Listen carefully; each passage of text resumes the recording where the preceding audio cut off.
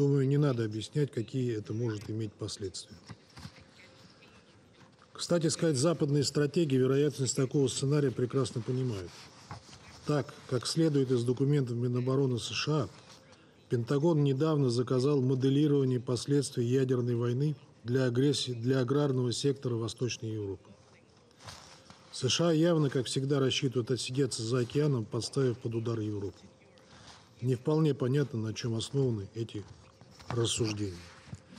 Госпожа председатель, думаю, не надо объяснять, какие это может иметь последствия. Кстати сказать, западные стратегии вероятность такого сценария прекрасно понимают. Так, как следует из документов Минобороны США, Пентагон недавно заказал моделирование последствий ядерной войны для агрессии для аграрного сектора Восточной Европы. США явно, как всегда, рассчитывают отсидеться за океаном, подставив под удар Европу.